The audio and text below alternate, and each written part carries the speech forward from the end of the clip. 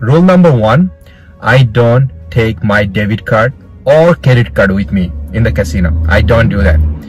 Because think about it. Every time, how often it happened to you personally?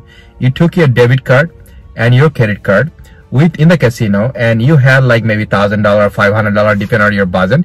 You went there. You went there and you lost that money and you went back to debit card using their debit card, taking some money out and paying that big fee they charge you every time you use your debit card.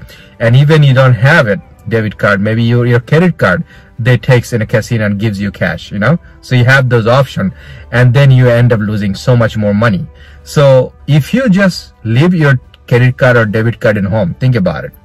And you go to casino and you, whatever the money, even you having a really bad day, you lost whatever you had, but at least you didn't take out more money and lose more money.